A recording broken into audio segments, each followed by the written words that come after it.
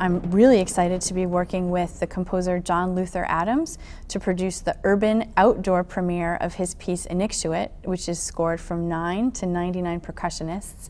And we'll be doing the full complement of 99 percussionists in Morningside Park this June 21st as part of Make Music New York. Make Music New York um, takes place on streets and sidewalks and parks with the idea that people who are going about their regular business in New York City on a regular weekday even will stumble upon all sorts of different kinds of music that they would never otherwise uh, know about. The Morningside Park is the backdrop for this event. It, it seemed like a, per, a perfect fit.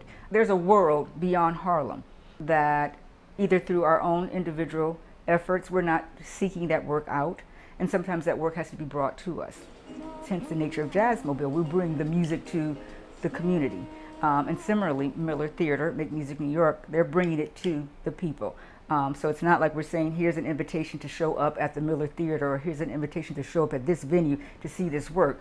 You don't have to do anything. All you have to do is just be present and it's there for you.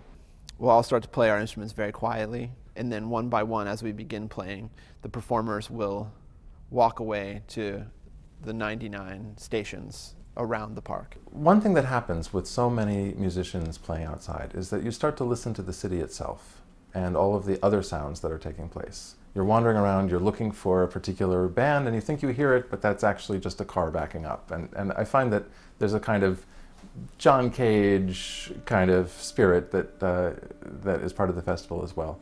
This piece in particular um, has a lot of unusual percussive noises and, and um, sections that um, interact with the natural environment, and in this case, the urban environment.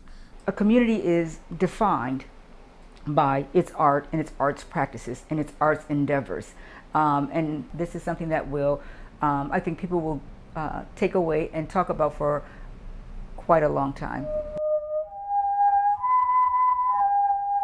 The piece kind of ends with this quiet circle of people just just playing these quiet songs. And then when it's over, it feels kind of like the end of fireworks on the 4th of July.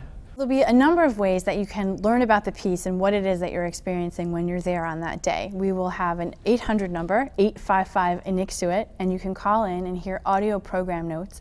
We have interviews with the composer, John Luther Adams, and the music director. We have a Tumblr account. We'll also have a Twitter feed so that you can post real-time updates about what's happening and your experience of the piece. And we'll be doing a podcast that'll be available on our website so that you can continue even after the, the piece is finished to learn more about what it was that happened.